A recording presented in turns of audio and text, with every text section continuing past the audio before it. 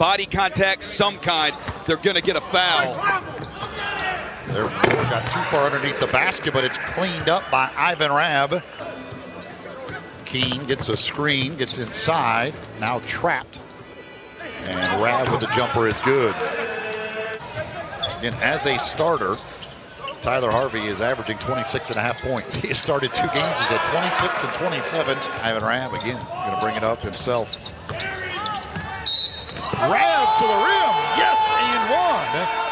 Ivan Rabb with a three-point opportunity. Rabb, he's not more athletic than Antetokounmpo.